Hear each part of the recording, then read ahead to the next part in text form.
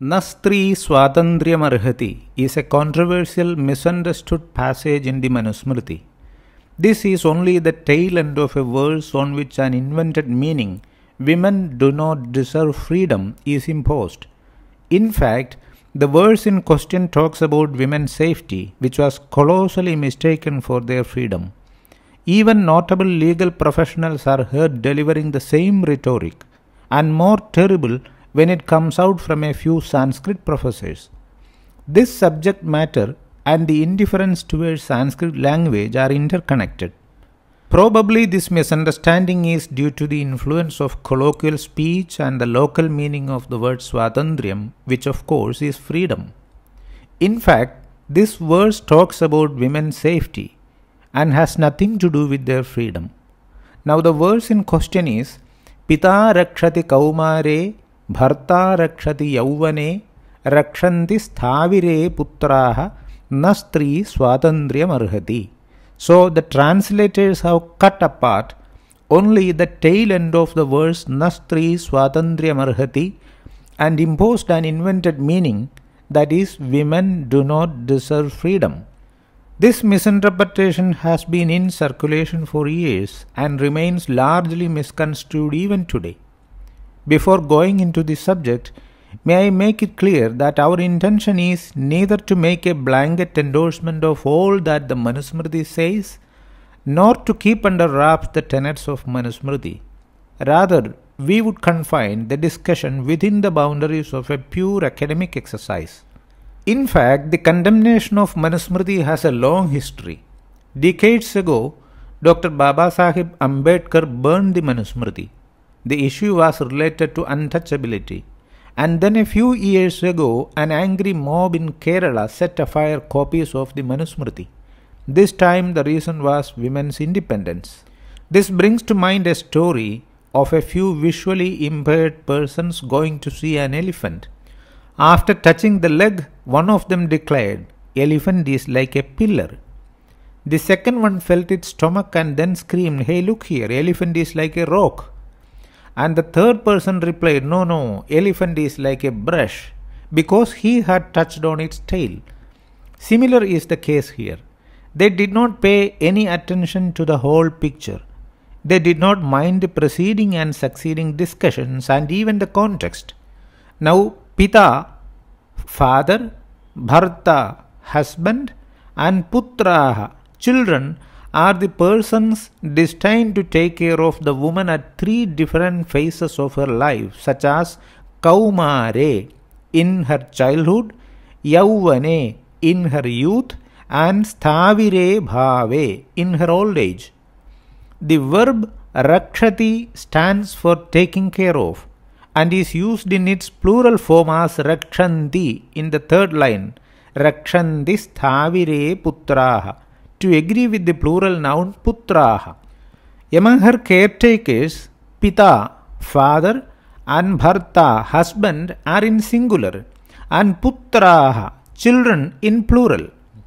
It is so because in Sanskrit, reference to a class or a group is made using the singular form of a noun if every member of that group shares similar characteristics and such a reference is equally applicable to all its members, just like generic nouns that refer to all members of a class or group. For example, an apple is a healthy food stands to mean that apples are good to health. Similarly, pita or father and bharta or husband refers to every father and husband, whereas putraha, children, used in plural serves a specific purpose. What is that? It refers to both male and female. Here the grammar rule of Panini, Puman Striya, is applied. The rule says that wherever a given word in its feminine and masculine gender in the same number and case has to be compounded, then the masculine word shall be retained. So, Putraha shall be understood as both Putraha, male children, and Putriyaha, female children. It means that the offspring, may it be female or male, is responsible to take care of the woman in her old age. In short, sons and daughters share equal responsibility in protecting their mother. Generally, there will be only one verb in a sentence or in a verse, but here there are two verbs, namely rakshati and arhati. Both rakshati and arhati are verbs in present tense. Present tense is used not only to refer to an action taking place at the time it is mentioned about, but also to convey several other features of a verb. In this context, the grammar rule of Panini, Dhatu Sambandhe Pratyayaha, is applied. This rule sanctions the random use of verbs in different tenses and moods when there is a syntactical relation between the senses of the verbs. Here the verb rakshati repeated in the first two lines and then in plural in the third line and arhati in the last line are contextually interconnected. By virtue of the said rule, the present tense rakshati assumes the imperative mood like rakshatu, while arhati remains in simple present tense. So, pita rakshati kaumare means father may take care in childhood.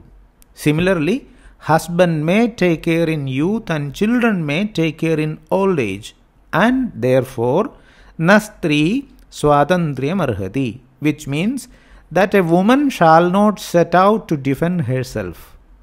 Hey, how come nastri swatandriyam arhati means woman shall not set out to defend herself? Here, stri that means woman is used as a generic noun as it was in the case of pita, father, and bharta, husband, mentioned above. Hence, the word stri stands to refer to every woman. Swatandriyam means prime importance and self effort. Na arhati means doesn't deserve. Now, again, how does the word swatandriyam mean prime importance or self effort? Generally, the word swatandriyam refers to the extent of personal liberty and free will. However, an important point to note is that a verb is capable of expressing several meanings. There are two components in the word swatandriyam and they are swa and tantra. Swa means of or by one's own self. Otherwise, something that belongs to one's own self and tantra in this context means prime importance and self effort or to take care of a celebrated Sanskrit dictionary called the Amarakosha elucidates several meanings of the word Tantra, such as Tantram, Pradhane, Siddhante, Sutravaye, Parichade. Among these meanings, the contextually suitable meaning of the word Swatantra is prime importance and endeavor or effort in self protection. And Swatandriyam refers to the state or condition in which one endeavors to take care of one's own self. So, hope it may not be difficult anymore to understand the specific contextual meaning of the word Swatandriyam. Similarly, there is yet another verse in the Manusmriti where the word Aswatantraha is used. And the verse is Aswatantraha striyah karyaha purushaihi swair ವಿಷಯೇಷು ಚ ಸಜ್ಜಂತ್ಯ ಸಂಸ್ಥಾಪ್ಯ ಆತ್ಮನೋ ವಶೆ this should be understood as providing constant protection without themselves setting out for that. Now, there could be a question what if a woman says, I know how to defend myself, why do men do that? Who are they to protect me? This would have been intriguing if it were asked then, but now times have changed. In fact, this verse also has several noteworthy elements such as Purushaihi Swaihi, which means by her own men, meaning father, husband, brothers, and friends. It doesn't say men should protect their women, evidently because the freedom to choose men was vested with the women. So, such usages require careful consideration to extract the contextual meaning.